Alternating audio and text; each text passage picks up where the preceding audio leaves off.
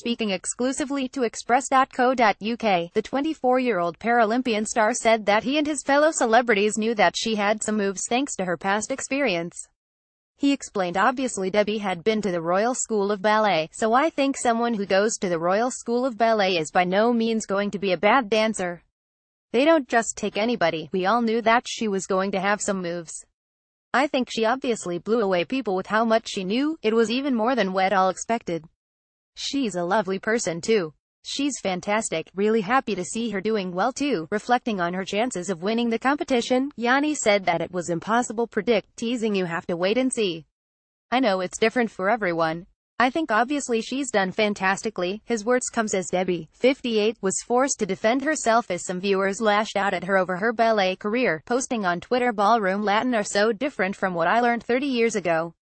And I'm ancient, BBC Jonnie Peacock and Oti Mabuse. Do the jive on Strictly Come Dancing. Obviously Debbie had been to the Royal School of Ballet, so I think someone who goes to the Royal School of Ballet is by no means going to be a bad dancer. Jonnie Peacock Debbie has already been described as the dark horse of the competition with bookmakers naming her as the third most likely celebrity to lift the coveted Glitterball trophy with a 92 chance.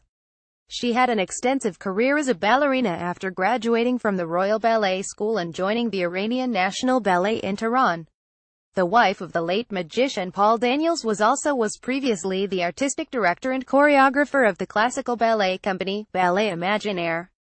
Meanwhile, Jonnie said he was not looking to win Strictly Come Dancing but just doing it for the experience during his down year from athletics. PH Jonnie Peacock has developed a dance-inspired HIIT The Floor 100 workout Monday, September 25, 2017 BBC Debbie McGee and Giovanni Pernice on Strictly Come Dancing I'm here to have fun. I'm just learning a new skill, something I've never done in my life. I'm not a dancer, it's not something I even practice, the Team GB gold medalist said. He revealed that he is gearing up for a Paso Doble this week with his professional dance partner Oti Mabuse, confessing I'm a bit more nervous that I was for the jive.